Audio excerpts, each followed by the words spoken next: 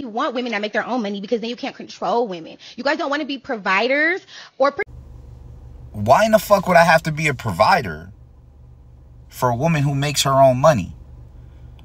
Obviously, if you're making all this money, the fuck you need me to provide for you for? Keep doing what you're doing. As a matter of fact, bring your ass to fucking work and get the fuck off the internet talking a bunch of nonsense. Second off, you want men to be providers, but you want to be loud, ignorant, talking back to everybody, disrespectful. Yeah, as a man, I have no problem protecting my woman.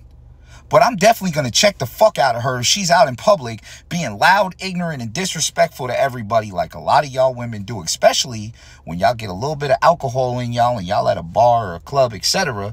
And y'all want to start disrespecting people for no reason. And then when a dude throw a drink on you, you expect me to jump in to protect you and go to jail. I don't like jail. I was there for 10 years and jail is trash. This is how delusional women on the internet are. If you're providing for yourself, you're making all this money, what the fuck do you need a provider for? She's literally complaining that men don't want to be providers and then saying they don't want women who make their own money, etc. Maybe men want women who are going to come build families, etc.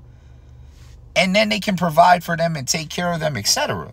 He knows that if you have a career and you're making all this money and doing all these things you say you are, you're probably not going to want to be in a house. You're probably not going to want to start a family. Your excuse is going to be, well, I'm focused on my career or I'm focused on my money and I don't have time for kids. A lot of men don't want that.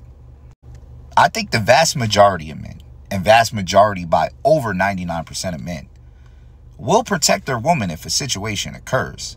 Or at least try, because we know some of y'all can't fight. But they're going to at least try.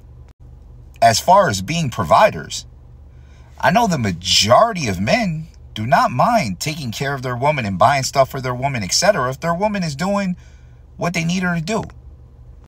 The problem is a lot of you women get jobs and have relationships with men at work that you know you shouldn't have. And even though they may not be sexual relationships, calling somebody your work husband or having inappropriate conversations with the people you work for is not going to be accepted by any man. And yet, a lot of you women think it's okay doing exactly that. If you're taking care of yourself, then why the fuck do you need a man to do it? If you want to be loud and ignorant and disrespectful to everybody, then why do you need a man to protect you? You acting like you can do it yourself. There are some trash men in this world, but I'd be willing to bet that trash women outnumber them men by a large proportion.